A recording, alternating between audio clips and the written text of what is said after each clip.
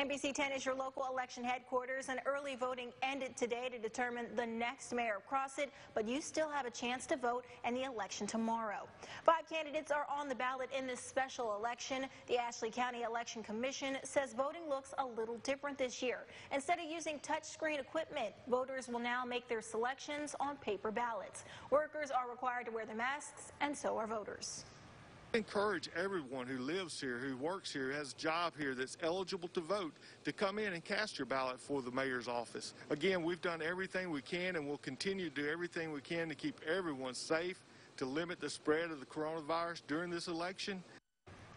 Voting will be from 7:30 a.m. tomorrow until 7:30 p.m. that evening. It will uh, will be sure to have election results tomorrow night.